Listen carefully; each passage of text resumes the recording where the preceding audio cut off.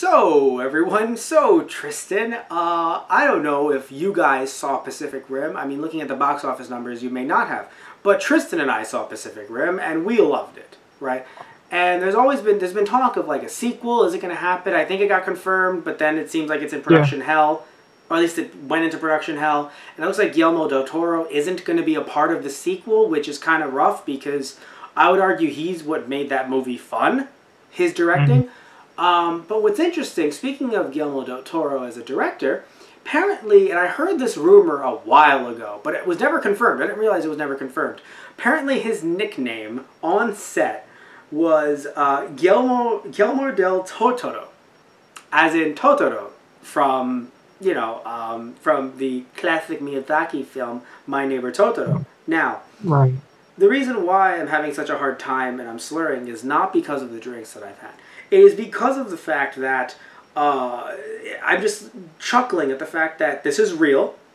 Guillermo del Toro confirmed this himself, and apparently what had happened was the I believe it was the little girl that played um, okay well the actress is named or the actor is named Mana Ashida. She played young Mako. Yeah. That's why I couldn't remember his name Mako. So she played right. young Mako, and she just could not pronounce Guillermo del Toro's name. And to be fair, neither can I. So so I'm not judging her for it. So she couldn't pronounce his name. So somehow she just ended up calling him. She asked, "Can I call you Totoro-san?" And I would assume Guillermo knew, like, yeah, that's I know where that's from. Right. And yeah. yet apparently it's inspired Guillermo del Toro artwork. Like people are drawing Guillermo del Toro as my neighbor Totoro. Right. And it is hilarious. And both hilarious and adorable.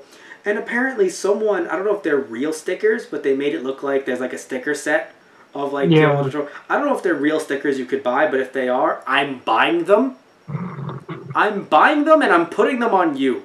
Like you're not going to notice that there's going to be Guillermo del Toro Totoro stickers on your back, Tristan. Because right. it is just the funniest thing. You're going to like it. Um, it is just the funniest thing, the cutest thing. I mean, this is such a, a hilarious story that I just like. I always I wanted to. It was one of the things, Tristan, where I was like, I want to believe that it's real.